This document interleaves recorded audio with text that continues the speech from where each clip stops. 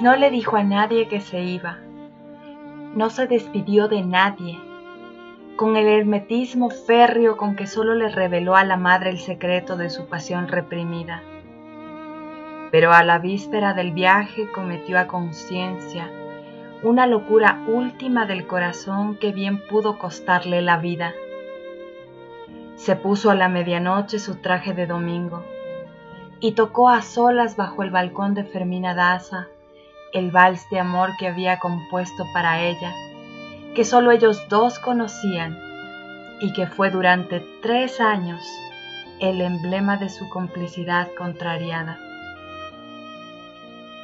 Lo tocó murmurando la letra con el violín bañado en lágrimas y con una inspiración tan intensa que a los primeros compases empezaron a ladrar los perros de la calle y luego los de la ciudad, pero después se fueron calmando poco a poco por el hechizo de la música y el vals terminó con un silencio sobrenatural.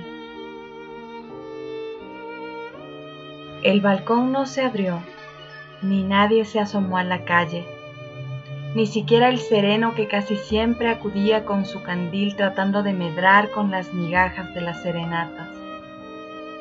El acto fue un conjuro de alivio para Florentino Ariza, pues cuando guardó el violín en el estuche y se alejó por las calles muertas sin mirar hacia atrás, no sentía ya que se iba la mañana siguiente, sino que se había ido desde hace muchos años con la disposición irrevocable de no volver jamás.